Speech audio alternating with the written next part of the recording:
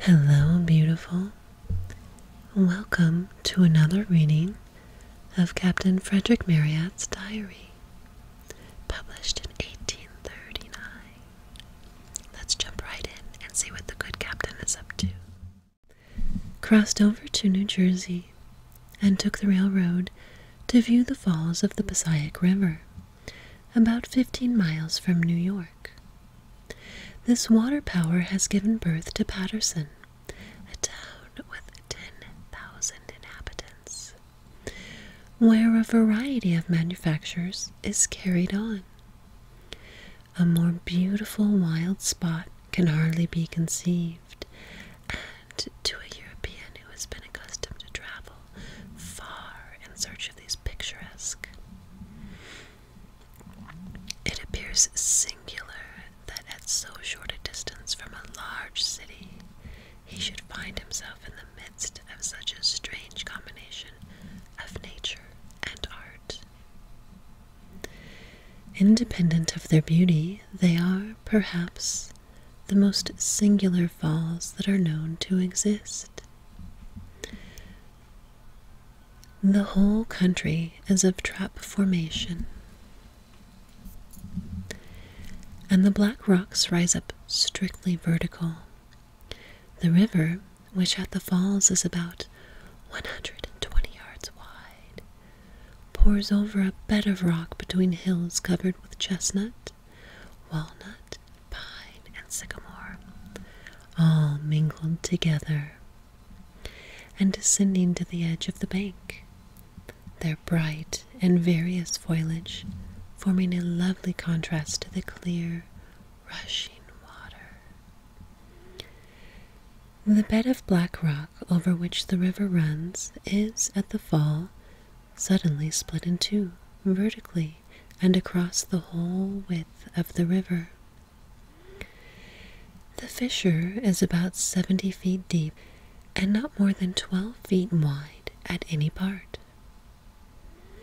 Down into this chasm pour the whole waters of the river, escaping from it, and at a right angle into a deep basin surrounded with perpendicular rocks from 80 to 90 feet high. You may, therefore, stand on the opposite side of the chasm, looking up the river within a few feet of the fall, and watch the roaring waters as they precipitate themselves below. In this position, with the swift, clear, but not deep waters before you, forcing their passage through the rocky bed, with waving trees on each side, their branches feathering to the water's edge or dipping and rising in the stream, you might imagine yourself far removed from your fellow men, and you feel that in such a beauteous spot you could well turn anchorite and commune with nature alone. But turn round with your back to the fall, look below, and all is changed. Art in full activity, millions of reels whirling in their sockets, the bright polished cylinders incessantly turning and never tiring.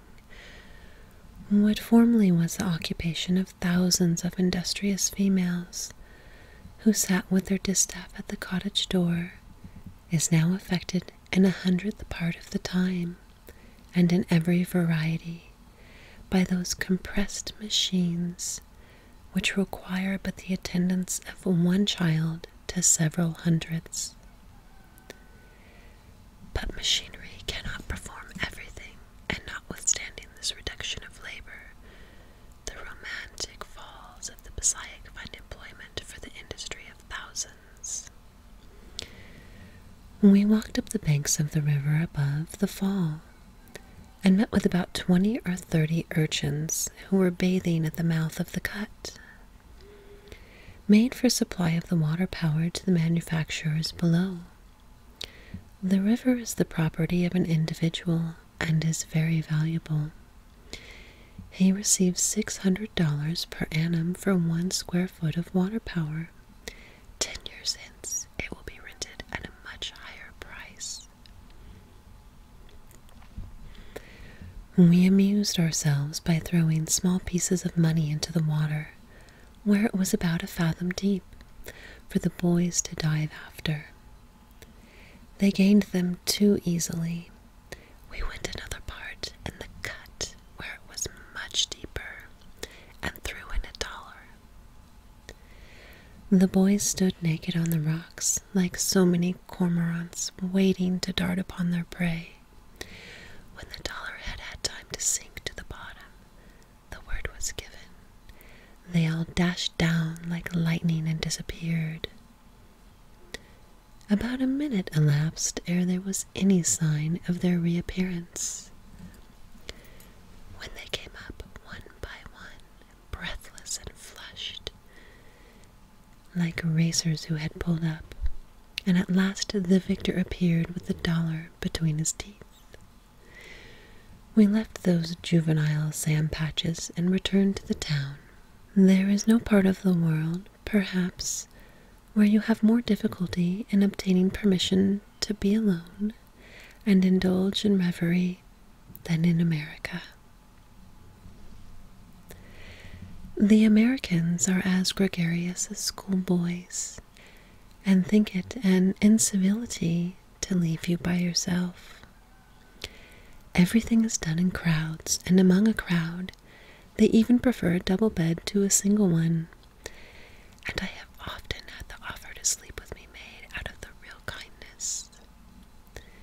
You must go east of the sunrise or west of sunset if you would have solitude. I never was in a more meditative humor, more anxious to be left to my own dreamings, than when I ascended the railroad car with my companion to return to Jersey City. We were the only two in that division of the car, and my friend, who understood me, had the complacence to go fast asleep. I could indulge in my own castle buildings and allow my fleeting thoughts to pass over my brain like the scud over the. At our first stoppage, a third party stepped in and seated himself between us. He looked at my companion, who was fast asleep. He turned to me, and I turned away my head. Once more was I standing at the falls of the Passaic. Once more were the waters rolling down before me, the trees gracefully waving their boughs to the breeze, and the spray cooling my heated brain.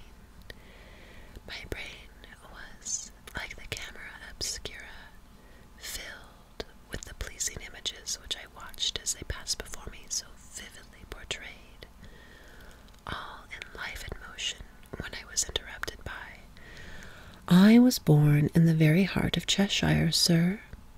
Confound the fellow, the river, falls, foliage, all vanished at once, and I found myself sitting in a railroad car, which I had been unconscious of, with a heavy lump of humanity by my side.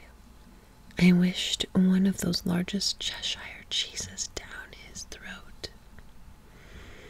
Indeed, replied I, not looking at the man. Yes, sir, in the very heart of Cheshire. Would you had stayed there, thought I, turning away to the window without replying. Will you oblige me with a pinch of your snuff, sir? I left my box at New York.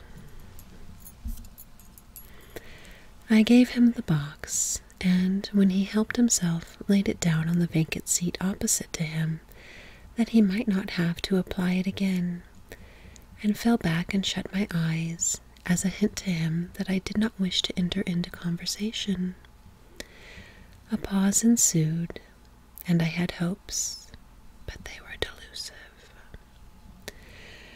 I had been eighteen years in this country, sir. You appear to be quite Americanized, thought I, but I made him no answer.